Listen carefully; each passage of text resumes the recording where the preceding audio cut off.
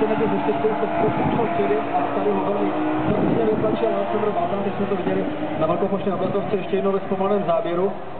Tak a vzhledem k tomu, že kačírek je poměrně hluboký, tak už tam máme techniku na vyproštění vozu.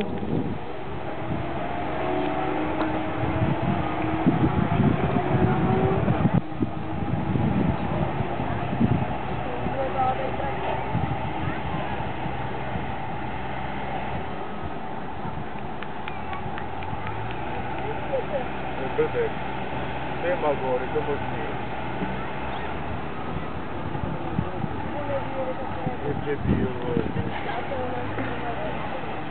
Protože tam debila, hodil se to. To zrušil, ten kačíry, Tím kontaktem se Alessandro Balzán propadl z místa třetího až na místo šesté. Ty, takže tam je toho. To je to hajzí, které to kačíry, vole. Alex Frasenet je startovní číslo čtyři, už nám tady nejede. Viděli jsme, že z toho nějak nadšen nebyl, kdo by taky byl, když ho někdo vystrčí z okruhu. Tak, jezdec i jsou v pořádku, co jsou